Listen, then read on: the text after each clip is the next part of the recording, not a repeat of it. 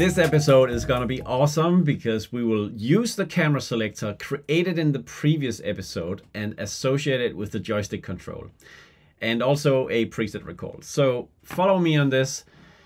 We will first go to the training layer and on the training layer, let's just zoom out a little bit. We will hold down shift and mark across the joystick here to select these and then we'll create new behaviors on the training layer. So that would be left, right, up, down, rotate, top button. By the way, these labels are coming from the raw panel definition of the PTZ Fly. So uh, they, they could be different and changed. Um, you could also create these manually. If you go to the layer here, then there's the uh, possibility of creating behaviors yourself by the names you choose or the or the um the we call them keys um aliases that you choose in this case. I will strongly not recommend that because if you do it this way then automatically we also get the key mapping in place. Just to remind you because we talked about key maps in the first video if you click on key map this is where the the um um, the aliases that any of these components have gets associated with the actual component number, hardware component number on panel number one or panel number two, etc. So this mapping is very essential to get right. If it's if it's not done right, it gets either it floats into outer space or it gets onto the wrong button and so on. We are going to touch a little bit on that at the end of this series in training so that you understand, it more and see how we can use this configuration and apply on different controller. Right now, I just want you to follow along and do it this way. Sorry for the detour. Let's go to this behavior and then press edit. Now, we will pick a control of one of these cameras, but instead of selecting a specific camera, because that will include the device ID, which is one here and two over here, and that is both on the Canon XC um, device core, we will pick this one, select core advanced. Okay, and as we do so, then we'll see that inside this field, we can now pick camera select, the variable camera select, to define which of the two cameras are we gonna use. ID number one or ID number two. I want to invite you to see what is going on up here in this window. It it this is called the IO reference. That actually is a string. It has a little bit the format of a URL that you know from your web browser up here. It says DC colon means device core. Canon dash XC is the name of the device core. Variable colon or var colon camera select is a reference to the camera select variable we have created instead of using a literal value, which is what we have done before. Maybe we'll see that in a moment. And now finally, we'll be picking the parameter name. So let's choose pan, pan speed maybe, pan speed, and that gets inserted here, the actual name of it, not the friendly name, but the operational name, the key, the um, the name that we need for this one. Okay, guys, this means that when we when we use pan speed on the left right dimension of the joystick, it's to control the camera selected by the variable camera select. Let's just do this for the others as well, okay? So we'll pick this one, the up down, and then we'll do the same.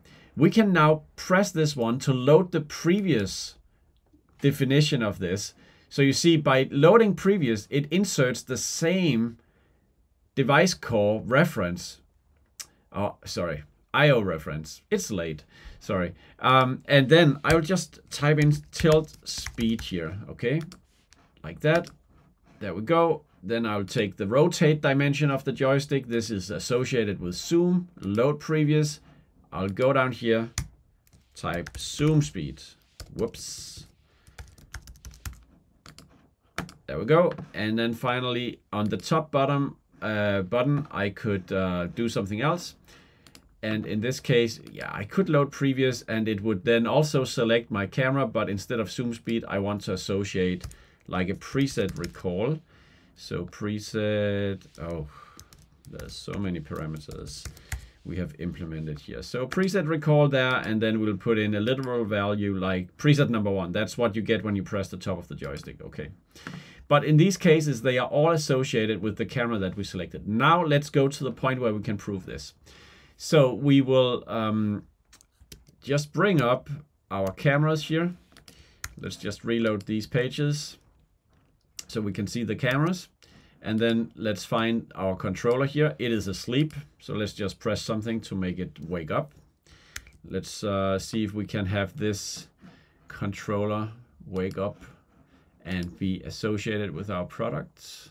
I think my computer changed IP somehow, maybe Wi-Fi versus something else, because at least my emulated panel changed its IP over to this one. So this is now connected and we should have these all safely in place. Yes, thank you. Okay, so on my emulated panel here, which maybe I could make a little bit smaller like that, we have now camera number one selected. Let's try the joystick by pressing the top button. Okay, camera number one is over here. It recalled its position. Let's try camera number two. What happens if I press this one? It goes to some preset, like crazy preset, preset number one. If I now rotate the joystick to zoom out, yes, something is happening on that camera. And can I also maneuver the camera with pan tilt? I have no clue what is going on. Let's just move this to the side. This, uh, this camera is uh, pointing somewhere in the cloud. So what can we do here? To see, we are in the showroom at the sky. Oh, oh, oh, oh, there we go. Okay, then we just need to see if we can get our find our way back here to normal life. Yep, okay, let's just let's let's just keep it here.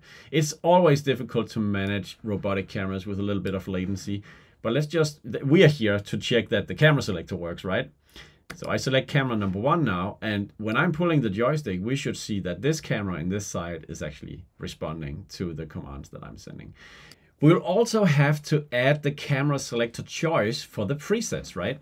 Now, um, we cheated a little bit to show the camera selector by using the pin mode, so I'll just get back to a more, more normal operation. Now the presets layer is active here, and we have all our presets. So I, uh, I will actually just pick one of these, press edit, uh, we'll go up here, and then we can remove selection in this case. So let's just quickly do that, and then go back to select device core, or select uh, yeah, that choose camera select.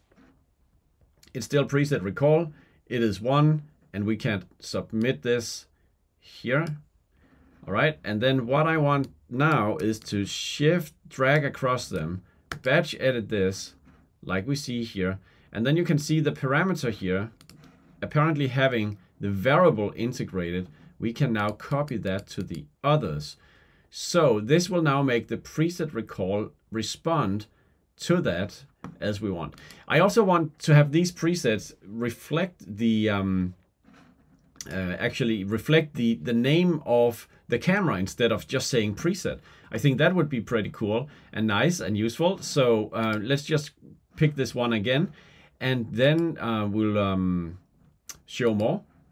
And then inside of the editor for the title, we'll edit this one and then we'll add a dynamic value. First of all, I'll type in cam and then space, add dynamic value, and then we'll just add this for the camera select like that. Okay, let's see if that works. So it says camera number one now, and if we go into game mode, we can change over to the camera select to pick camera number two, and then let's go back to this one. It says camera number two now. I hope you can see this. So cam two, ah, it's a little bit far away from my navigation button. Okay, so cam 2, but then I change back to cam number 1, and now it says camera number 1. So this is great, and all we need to do is to apply this to the other. So once again, we could do this little batch edit, then go in here in this nice table, we see it all, and then if we place our cursor here and we can then copy this one all the way down, it is going to pick up the camera number that we have selected for the others. There you go. Now you have seen how we can dynamically involve a variable in selecting which device we are talking to. And that's a fundamental concept inside of Reactor.